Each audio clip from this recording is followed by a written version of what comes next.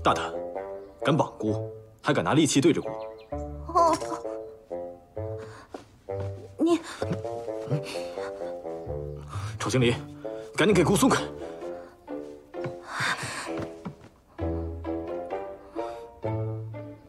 对，对不起啊，我，我实在是太害怕了，只能先委屈你了。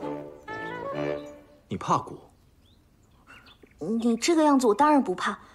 我只是害怕，你又变回昨晚那个样子了。这实在是太离奇了，我得缓缓。你没见过姑这样？没有。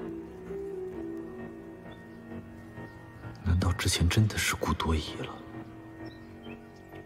啊，君上，你为什么会变成昨晚那个样子啊？还有，是从什么时候开始的？你，你现在身上有哪不舒服吗？啊？真是个蠢货！这种时候不担心自己的安危，居然只顾着关心姑。